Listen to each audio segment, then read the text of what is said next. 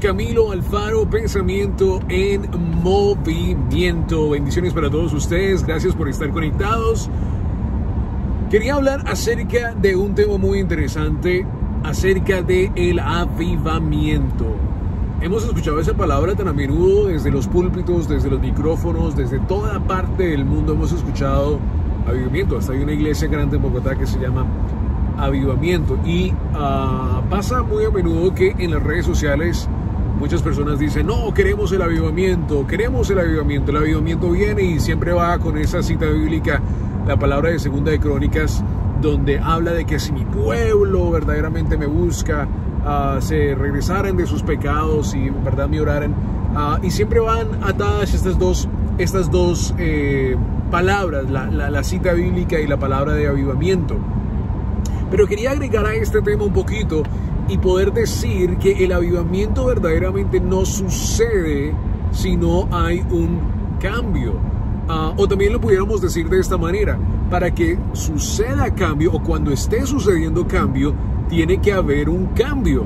Uh, ¿y, ¿Y qué quiero decir con esto?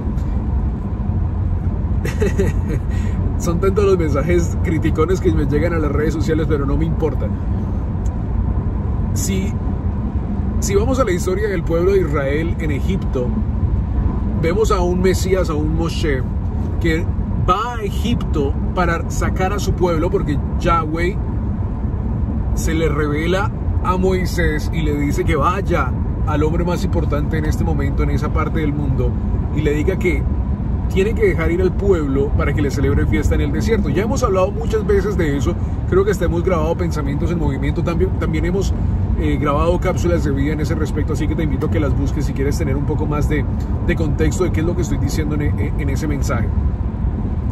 ¿Qué pasó en Egipto eh, que causó que Yahweh sacara al pueblo de allí? Eh, se estaban multiplicando, eran esclavos, algunos de ellos se comenzaron a asimilar, asimilar en qué sentido, comenzaron a celebrar eh, fiestas paganas, comenzaron a comer comida no pura, no kadosh, no santa, no kosher, uh, y allí comenzaron por supuesto una gran eh, travesía donde algunos de ellos una vez más asimilaron y se olvidaron del Eterno. Uh, con esto dicho, por supuesto, entonces Yahweh envía a Moisés con una misión. Eh, conocemos toda la historia del Egipto, el pueblo sale. Pero mira que el pueblo sale, eh, y por supuesto para ellos esto era un avivamiento, era un gran, un gran momento en la historia. Pero mira que cuando ellos salen, Moisés eh, tiene que tratar con un pueblo que se le ha olvidado muchas de las cosas profundas que Yahweh le había dado, por supuesto, a Jacob, a, a las tribus, a los hermanos, al mismo José. Eh, se les había olvidado por el tiempo, tanto que terminaron como esclavos, entraron como, como ganaderos a la tierra de Gosen y salieron como esclavos eh, de Egipto. Todo un proceso de Dios, por supuesto. Después de eso, por supuesto, pasan muchas cosas. El pueblo de Israel cae también en manos de otros, de otros pueblos, de Babilonia, de Siria, bueno, de una gran cantidad de otras cosas. Y durante todo este tiempo, algunos judíos o, o hebreos, podemos decirlo mejor correcto, eh, traen con ellos tradiciones, cosas, costumbres que aprendieron allí que no tenían nada que ver con Yahweh, pero que ellos dijeron, ¿saben qué? Pues no le veo nada malo. ¿Qué hay de malo en esto? Hagámoslo. Y lo comenzaron a meter, a meter en su tradición, que no tenía nada que ver con la palabra, con la Torah, para nada. Ellos comenzaron a decir, esto, esto me gusta, lo vamos a agregar aquí a, lo que nosotros hacemos. Y de así a así se comenzaron a traer, por supuesto, grandes cosas al pueblo hebreo. Con esto dicho, ¿qué es lo que quiero decir en este pensamiento en movimiento? Para que verdaderamente veamos un avivamiento o cuando esté sucediendo un avivamiento, tenemos que aprender que la primera cosa que sucede es que debe haber un cambio, un retorno a la verdadera verdad. ¿Cuál es la verdad? La Torah, la palabra de Dios no lo dice. Entonces, cuando comencemos a ver que hay verdaderamente un cambio, eh, y lo podemos meter también un poco más profundo y decir que hay un renacimiento al escudriñar verdaderamente la palabra, escudriñar lo que la palabra nos dice y quitar de nuestra mente las tradiciones, las costumbres, la manera de vivir, que se nos han sido enseñadas de una manera eh, greco-romana o babilónica en nuestra vida, en nuestra mente, es allí cuando verdaderamente comenzaremos a ver avivamiento. ¿Por qué?